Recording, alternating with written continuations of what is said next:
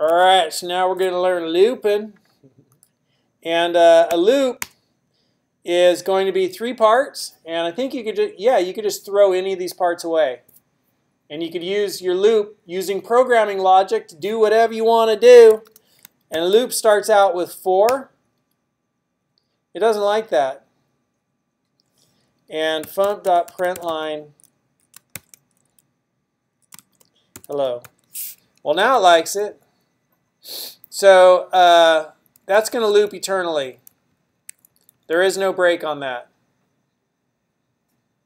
Want to hear my computer's fan spin? What are we in? 20.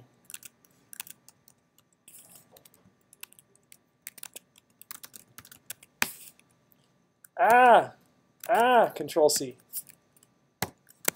That's it. A forever loop. I'm going to comment that one out.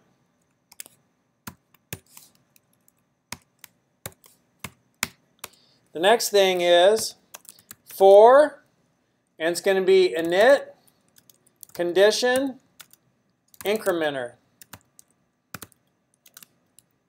and then code. So those are the parts that you can use. An initializer for i colon equals 0. A condition i is less than or equal to 100. Let's just do 10. And incrementer i plus plus code format.println i. I, I, I, I, I, I, I, I, I, I, I. Donna, Donna, Donna, Donna. Nobody knows it? Donna. Huh? Yeah, man. Going off the rails on the crazy train. I think we're going to have to listen to it. And now we did that loop. Loop, loop, loop, loop, loop, loop, loop, loop, loop, loop-de-loop. Pretty sweet. And we could leave any of those parts out, I think. But that's just my theory, right? Like maybe we don't want the, the evaluation. So what's that look like? We get rid of the evaluation. Weep. And we just put in here if i is equal to 11, break. And we will, uh, you know, print II, just so we have a difference. Oh, there's no I. It'll have to be II. Woo! Right? Printed 11 and then it broke.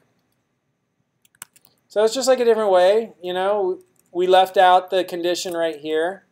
And we just use programming. We put it here. We could have put a break in up here. You know, like right here, we could have said if this happens, break. Could have had the break right there.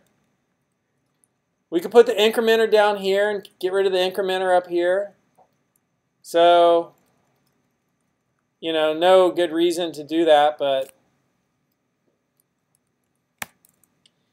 and I'm going to fmt my code to see what it looks like, see if any changes happen a little bit, got cleaned up. All right, so you just have to remember for init, condition, incrementer. So that's the basics of looping. And in the next one, we're going to see range. We've already seen range, but we'll talk about it. Oh, let me give you a little assignment. I want you to uh, do a for loop, make numbers count up to 10. Do it, do it. Sorry, I'm totally wacky.